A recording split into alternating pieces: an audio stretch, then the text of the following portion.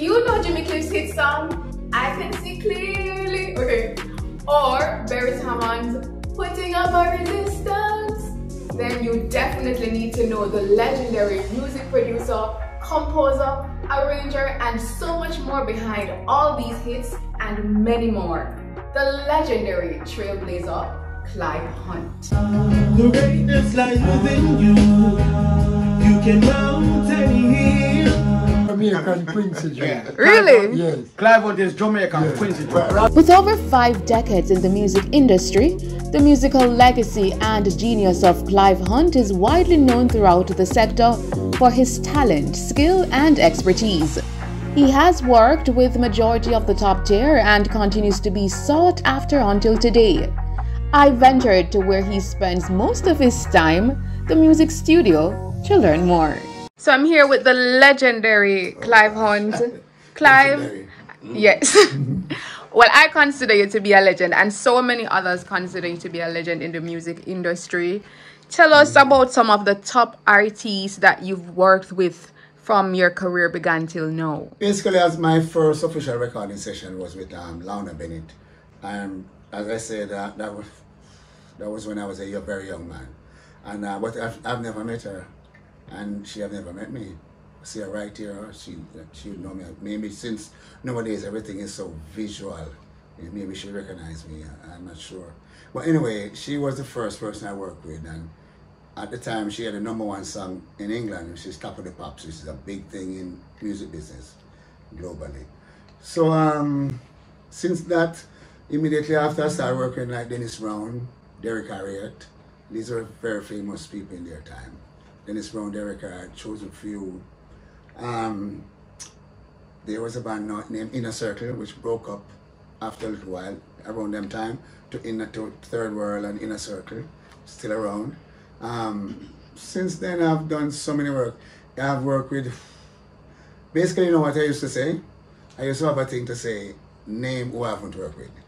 You know what I mean? But I can't, which, and this is since maybe the dancehall era, when um, a lot of young people come out of the, this, you know, from the different places and start do something at the studio. Um, but if you want some famous names, I can tell you Beres Hammond. I can say Jimmy Cliff. I can say Alpha Blondy. I can say Betty Wright. I can say Bobby Caldwell. What you want to do for love? I can say um, oh, name them. I can say Toots and the Maytals. I could say Chaka Khan. That these are, and in, back in Jamaica again, I could say just about anybody now. I work with, I produced, I produced the Skatalites last album in Jamaica. I was a early 20s. The Skatalites is as famous as most of these people I mentioned. Okay, um, I've worked with Maxi Priest, worked with, um, these are hit makers. I've worked with, and then how I consider famous people, I is musicians and producers. Like there's a man named Handel Tucker. Every time I mention his name to important people, they don't know him. And I'm like, what? Handel Tucker produced he, he, the Fugees, he brought them to the to people. He was the, the first album with Handel Tucker. Yeah, he, they were in Jamaica here record recording at Anchor. And um, he did Diana King. He brought produced Diana King. He brought Super Cat to his biggest his biggest hit record. Um, Girls Town, Girls All Around. So um, so my, my thing with fame, I like to talk about some of the people who we don't see and hear about too much. They're to me they're just as famous. Because the famous people they talk about them and I can't couldn't have done without them. You know what I'm saying?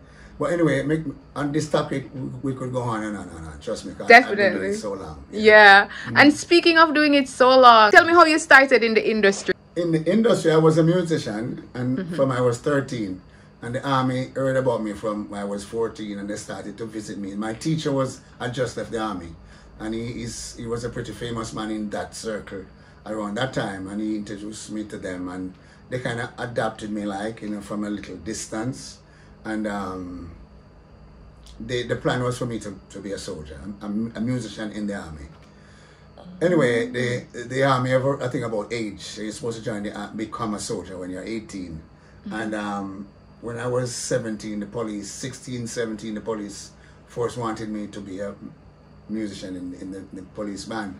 Anyway, the, the man who was a director for the army didn't like that. Anyway, I went and did the police test I still had to wait till I reached 18. So, um, and this, the, I passed the test and I was about to go to Port Royal, which was the training place of police at that time. And the, the guy, the, the band director in the army heard about that and sent for me and just sent me straight to Newcastle. I mean, I became a soldier, underage, okay? And then I left the army, the new, new training. I went to the back into camp and I be, same day they gave me uniform and I was um, I started to play with the band. I didn't even remember oh, my, my lips and all that. I played the trumpet then mainly. Anyway, um, uh, less than a year later, they sent me to England to the Royal Military School of Music, which is a college for top military um, people, musicians in the British Empire. Anyway, I went there less than a year after I became a soldier, which was very different. Because normally you have to spend five years in the army before you do that. And I went there and did very well. Um, in retrospect, I wish I'd take use of the opportunity. Yeah, I went there and I didn't even respect people too much because I wasn't misbehaving, but they, I found out mm, my teacher was, was didn't even understand half that I know. If I put something, they know what it means.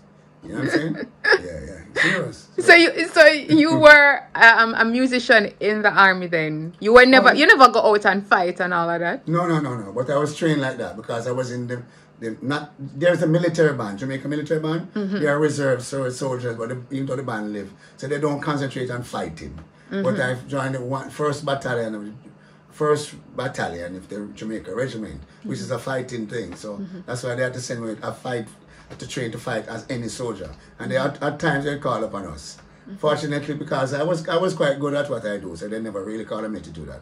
Once they made me do a guard duty, and I, I, I went into a truck, you know, the military truck, military truck, and, and, and hide with the gun and the bullets, and, You hide? and fell asleep till morning.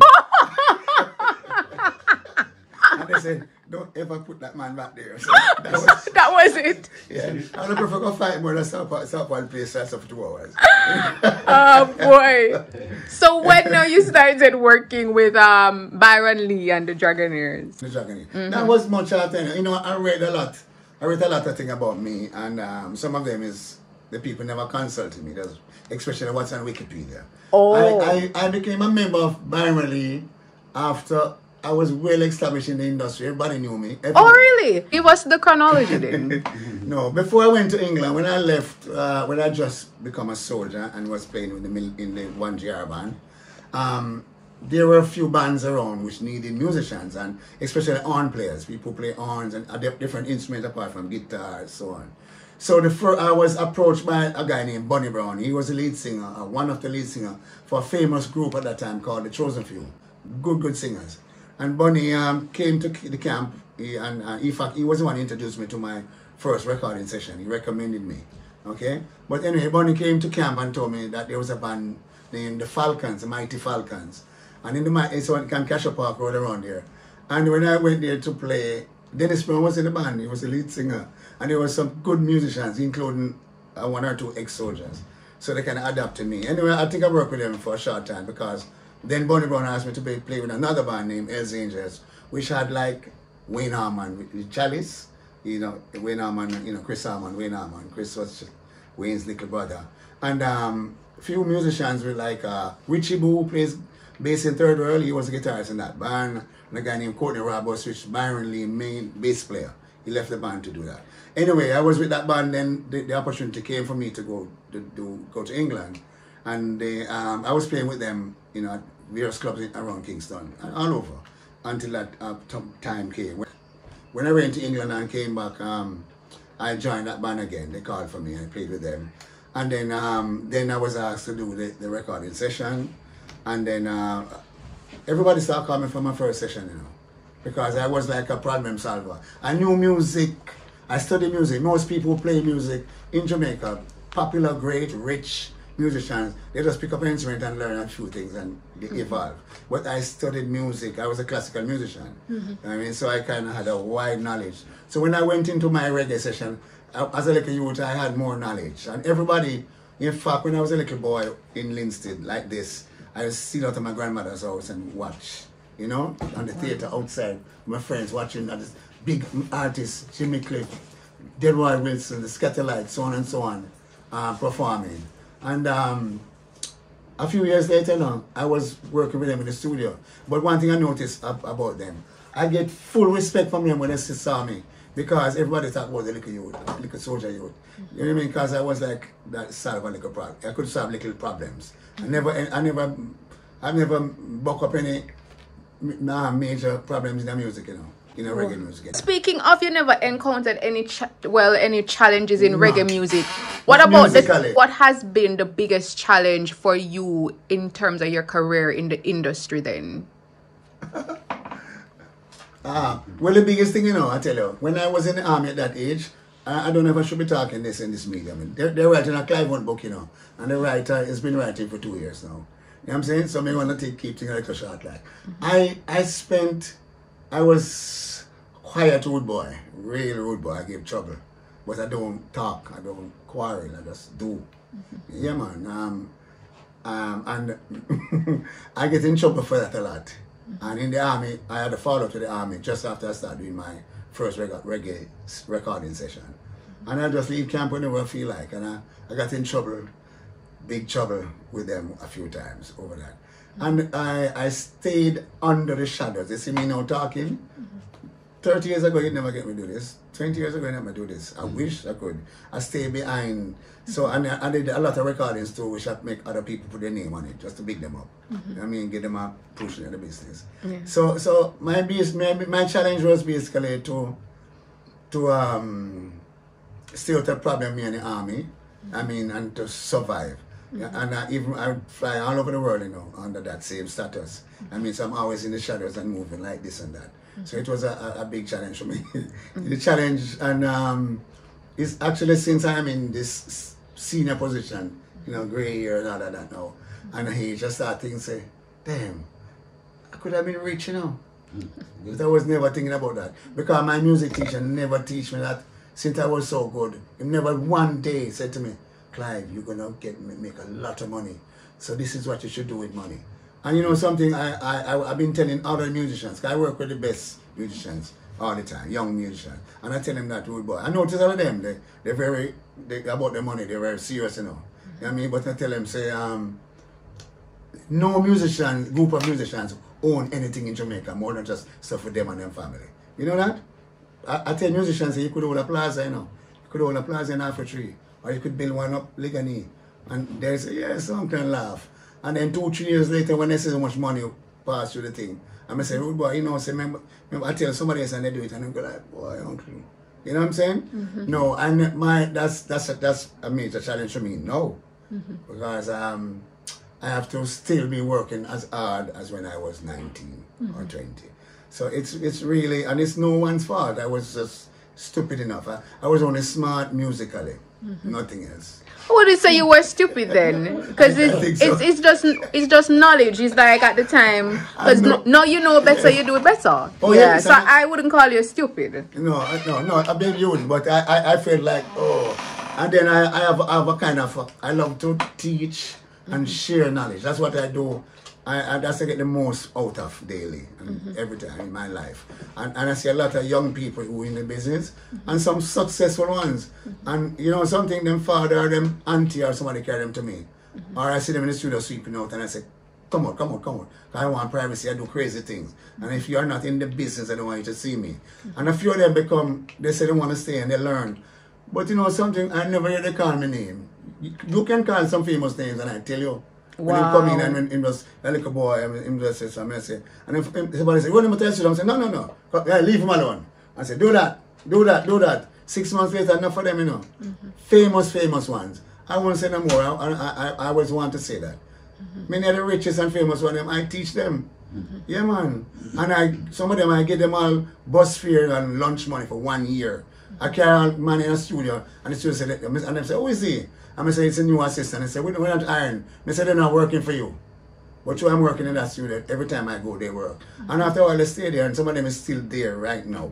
Mm-hmm. But you, you're not, very few here, maybe one or two, you can hear talking now. Mm-hmm. And I hear, like, I hear a famous producer, musician, artist in Jamaica was telling his story to mm-hmm. some young musicians and players. And I, I remember Beres Hammond was standing right there. And he talk about himself one thing. And and Barry and I was standing on this side, and the guys I was sitting beside him and we talk, talk. And Barry's son standing right there. And see Barry's keeper look on Barry's look on me like so, and him look him then him look back and come here look on Barry's and him tell the guy talk, you know. The man, him famous, mm all I wanna respect him.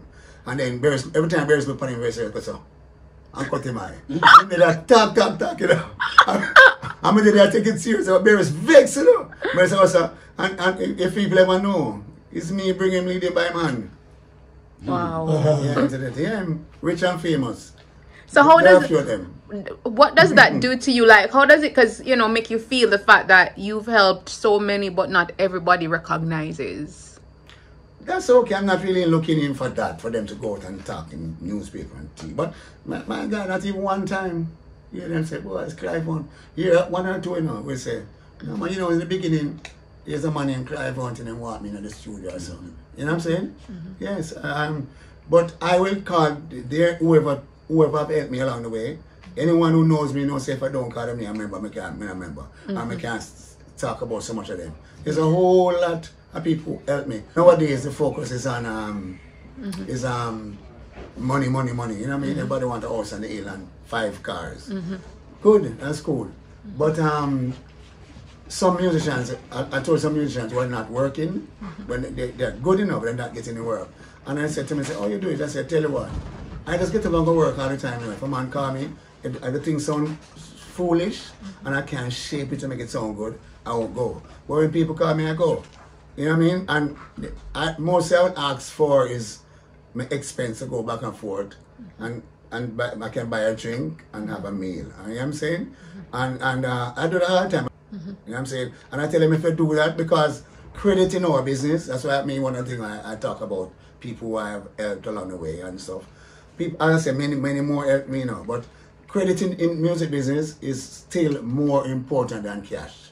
Yes. No, that's how I get work. Mm-hmm. I can tell you some of the biggest records I've ever worked on, I never get paid for it. Wow. Never ever.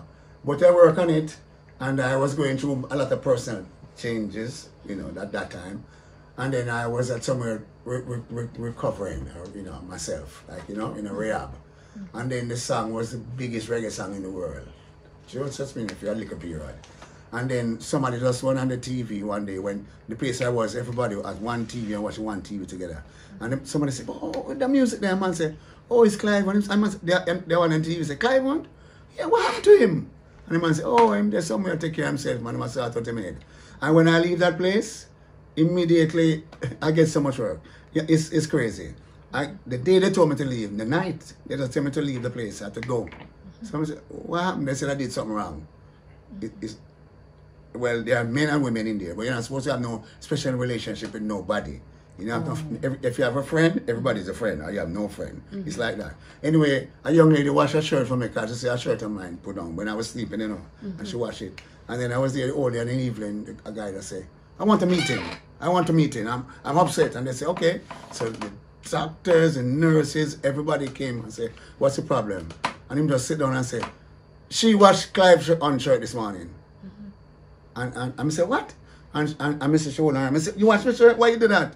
And, and the guy, the, the, so the, the, the director, is a psychiatrist, psychiatrist, he's a good friend of mine. He say, um, you did you do that? And she says, and he say, Clive, I say, him, him call me Azul. Say, Azul? I say, no, no, I never know.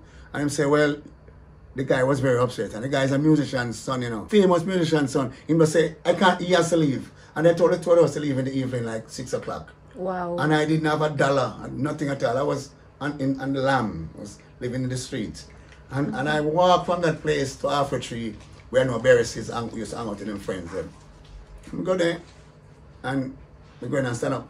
Mr. Paris I play a game, and I stand behind him. And the whole of the man in one place I get away, and Beres say, oh, I go on. And then he turn and see me say, Jesus, Clive, why, why you doing that? Why you doing so? I say, them people say leave. So what you do? I say, me not do nothing. He say, people say leave. So what you do? I say, I go for little bag and go country. Eh? And we give him van key. First SUV I ever drive. First one I think I ever seen. Mm-hmm. Yeah, except in the movies. And me just drive it, go back up to the place, got my little scandal bag and drive back to him and him say, so what now? I say, pay a taxi if you me go Lindsay, it's about two thousand dollars. My mother house. And him say, for what? I said, me I go home, I don't want him. said, no, everybody want you for work. I said, no, I don't want to work. I, I didn't think I was together yet mentally. Mm. And him I insist. I say, Beres man. He say, come to my house. I go my house and stay for two weeks, but I drive my own car go home after the two weeks, you know. Mm-hmm. Yeah, see him, Kojak. Kojak, they got Kojak was here a while ago. Kojak come out the rehab and sit down and I, with the came car trunk, a bag of money. I beg them to let, let, let me out, you know. So when I, when Barry said come my house and I find him next year and I did an album with him, then I, Jimmy Cliff checked me to work. I did two albums with Jimmy Cliff. But anyway, two weeks after I, I, I left the rehab, I drive my own car, go to, to my mother's house. You know I mean? So um, uh, uh, uh, uh, there's another song, even the Jah Cure. When I found that girl, when me before me do that song, I mean that country just because sometimes I walk away from the business, you know. It's it's the same thing over and over. I mean, apart from my friends, the music excite me. So I just decided to quit for a while. And I went to country with my brother, you know, and um, me and him just live on a par. And then uh, him had some animals. And me help, they, they one day help him take care of the animal and get a call and me answer, hello. It was Jah Cure, brother, Father Clive. Uh, why you do something for me, know, produce two songs. I say, oh, okay. He said, tonight. I said, tonight? And, and said, tough come. I said, okay, well, send the songs to me. He said, I'm not a song. So I said, me not a song, boy. I mean, I make radio, I make music. So me need a song. He said, and he said, Jano. I said, I wanted to come out you know, to do something. It was a little, like, you know I mean, just a little ear out. So I said, okay, let's go to the studio. I come up with something. And I'm there with my brother, we just start vibes, the, the not this melody, you know, but the, the bass and the vibes of the rhythm. And I was anxious, singing to my phone and go to the studio and tell the musician them do, do, do, do. They did it. And Pooh Bear write the melody and it's, it's history. Now that one song got me so much, so much work from then until now. Till today. I can no. I'm grateful for the call. I mean, I'm grateful for the artist and the, and the success of it. But even though you might hear me say things about artists, I'm not thinking about artists. I, I am one person who who don't ask me too much about artists. I love musicians and, I, and I love engineers, people make it happen. I- In my business, enough time me get up and work in and I walk outside, especially at night. Me walk when people out there say no. Walk them, I mean I can't see them. Even when I had eyes. I couldn't see them. I say, oh sorry, sir, sorry, so father. And when it, uh, six months or a year later, them become massive stars, you know. You know say? No, they, you know, say they never, they never speak to one of the engineers or get them a bun and money to buy a bun or a, a musician or a producer. No, them is a different world they gone into. And mm-hmm. I've seen it so much over now, so I kind of retreat into Yeah. just being a music person. Mm-hmm. And I try to be humble. My my humbleness is not like I say I start out and go so. My humbleness now, when I grow up, if you talk to me and my friends away, me I go vex. me have a man here who, who, who, who we're gonna be working a few minutes. Him know me from I was very, very young. I know me very quiet and go and say what him know. I fight I used to fight whether I win or lose, you know. You know, me fight through me after fight. So that way they know my family say me not humble. But nowadays me not no choice because there's so much guns and things around, so me have to just behave myself. You understand? Yes.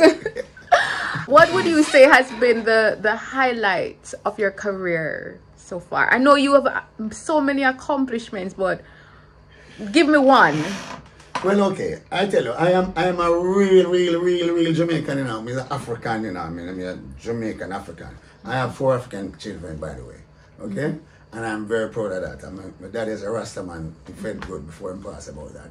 But let me tell you, um, I, I think I've worked with the best in Jamaica, uh, uh, uh, mostly Amos, know, and I've, I could stand up and be respected, you know what I mean, by every one of them.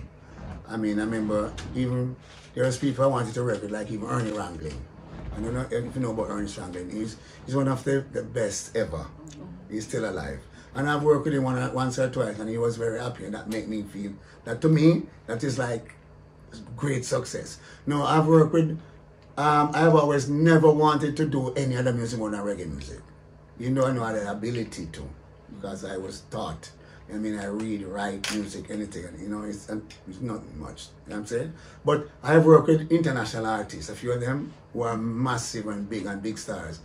And they have given me the same respect and, and they appreciate my thing the same level. Now, to me, that's a massive achievement. Yes. Um, I remember I can tell you one particular thing, which um, I think different, a major highlight for me and a major achievement. I when I was very young there, you know, I was as a young musician, I used to check people like Quincy Jones and all of his works and, and many many great um, performers in America. And um, we as a, as a as an arranger, I, I consider myself I always want to be an arranger and an, an instrumentalist. I use uh, the, people like the horn sections, horn strings, and all these things, which are different from in Jamaica. You don't find much string players which are any good. I mean, yeah, I've never done any, and I listen to all of them. You know, but mm, okay. No, um, horns. I've been involved. You know, Dean Fraser, everybody. We come together. We do good enough, good enough, and the world accepts it. But so I remember doing a session on a Peter Tosh session in New York, and um, Peter Tosh, the Rolling Stones, fly Peter Tosh and the crew into New York because I wouldn't come to Jamaica to work. I was in New York, committed to some a, a project, and and they came and we I recommended the studio and we were working, and I mean I did an arrangement for one. I think the song with Gwen Guthrie and Peter Tosh, Nothing But Love. If anyone can remember that song, and um, I'd make an arrangement. So arrangement means these players know you have to write the thing, you know write it before they, when I went to when I, I was in New York, but they gave me a hotel room in the city, you know, the, everything I wanted to, to compose and arrange, make arrangements. And when I turned up in the studio, I remember I, I took the parts of the musicians and I what, was first fantastic to me and it's amazing every time. I am hearing this thing in my head, you know, me alone and on the piano doing this, you know, you know, my head, I'm head, and then I give them the paper and walking back home to the control room. I hear the man them playing, everything was in my head, you know. And I never say one thing to them. That was fantastic. But in that song now, I write a thing give up for the horns and the trumpeter was his name is Jon Faddis. And he was the best in the, on the planet. Yeah, I, I'm telling you, he was the best. With trust me, with whoever you name. And I, I write a part, give him money. When I walk up, I hear I heard him walking out to the studio, to the control room to direct the session. I heard him fumble on it. And, and, and, and so and I, I laugh and I come up here and Geoffrey Chung was engineer and Geoffrey Chung said, hmm. And it, the guy do it again and him fumble. And I'm, I, I, I kind of feeling bad now. 'cause this don't happen to, this is the best, you know. And Gwen was there. And so anyway, when the time comes to record, normally you hear songs like Buckingham Palace, we hear everything I write, they just play it instantly. Bam, done. No, take this, fix this, nothing. Just give them on the music play. One, two. I'm saying? Anyway, this thing was wicked. And Gwen was standing there with some, the backing vocalist, them, you know, they're the top New York people, you know. And, and after about four times he couldn't get it right, me just say, um, John, hold on. I mean, I was, me, me not go around there now to change the part. And when was she bought me up in the corner and they, they Kai, what are you doing? I'm saying, oh, me gonna change it. I said, no, no, don't do that. This has never happened. This has never happened to him or them. Don't. They remember you as long as they live. And I, and I, and I was, no, when I just said, hey, I said, don't change it. Eh, And I come back around and relax, and the guy practiced till he got it right. And you know something? I live in Manhattan, um, in New York. And for years, when I'm passing through many, I'm in the street, I'm in a club, I hear, hey, Jamaica! And they say me now, calling to me now. yes. Now, to me, that's a great musical achievement. It's, Yes. You know, no, that's more than a platinum album to me. Definitely, Yeah, definitely. yeah. And uh, my final question to you, Clive, because this conversation could go on because. I mean you have a wealth of knowledge and experience. But what's your advice? Because the program it's the trailblazers, we consider you a trailblazer. So what's your advice to others who are in the industry right now, whether musicians, artists, just anybody in the industry? What what one advice would you want to leave? And also to regular people out there who are on their journey of trying to be great, whatever that is for them, or trying to live out what their passion is. I always tell young, a few young people when I have an opportunity. When I, I remember, I, I, I used to go to America a lot, all over. And there were some big, big, big billboards. You know, the massive ones you see. Yeah, man, like in Manhattan and Yes, Times see- Square Yeah, you and see, you see think about in Jamaica, you see my Grace this or Mm-hmm. JPS that. And in America, they have some big ones. And you know what I say? Uncle Sam wants you to practice. Oh yes, in Jamaica, I wish to do that. The the kids them don't need to know. And if you want something, I, I was going to do, when I started doing music, at least minimum 10 hours a day, you know, I'm, I'm playing. I'm playing or reading or studying every day for four, five, six, seven years. I was doing that, you know. So to achieve something, first of all, you have to we, we make money in you know, the music business. We make money too quick. Some of them on them. So mm-hmm. until you know, I mean, they just go. I mean, no, they, they they are they are respected and rated, you know, but them are them not really. Some of them are really good, especially the artists. Them they just come make then they disappear. So you know, if, if out of every ten, yeah, maybe two will last. But if they had studied and practiced and uh, what you call it, uh, like uh, Hone. craft, Hone yeah. the craft. Yes, you know what I'm saying. They will last for a lifetime. There are people I know. Who, see Beres, see Limey Murray, see Freddie McGregor. They're from teenagers. They're coming in, just like me. I mean? And they're still doing it, but in practice, when they might laugh with everybody, when they go home or go in the corner lock up, they, I used, I pass some singers also, hear them play, I sing things, but what we in music we the scale. Do re mi fa sol la do, do re mi fa sol la ti do, and oh, I say, and some people, maybe neighbors them used to but to me that's great. What is it? Why do? That's great. It, it, it, it, it's gonna get better every day, every month, every year until. One of one of his his practice that he do daily with knowledge is to pass it on. Yes. You hear Bob Marley sing a song, he pass it on. Yes. That is what he does. Pass on the knowledge. Hey, this is Clive Hunt. You're watching the Trailblazers. some of our most prominent producer them mm-hmm. in the industry tell Tony that he could not bust a female artist because Wow. you Failing is one thing. Failing publicly is, is a is a very hard thing. Father always said he was growing a prime minister. And I said I was holding my mouth, the lies were going, and I could, I sat and I saw women on the TV just lying bluntly, just just like that. released the all media survey. When you look at the name Ron Michelle, zero, zero, zero. And then they send back to say that they apologize. The lady up there never put in the number. Seriously? Um, in terms then. of help, help for like I was feeding. Yeah, my mom was out. yeah, my mom was a helper back then and stuff. To be honest, I was just excited, you know, to play for West Finish. I did it. I, I made my move into entrepreneurship at 40. What, you know, last comments would you want to share with You have your core values, you do the right things, it'll fall in place for you. Special thanks to our current sponsors Stars Publicity and DG's Nutrition and Wellness Center. If you're interested in being a sponsor, just send an email